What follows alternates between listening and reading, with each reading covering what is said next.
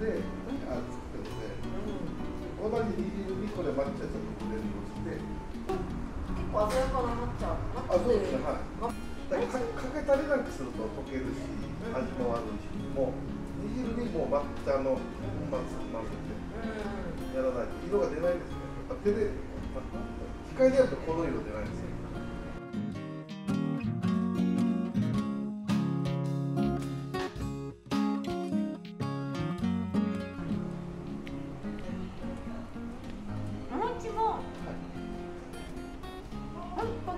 甘い。あそうですねはい。でも本当に本当にですよ、はい、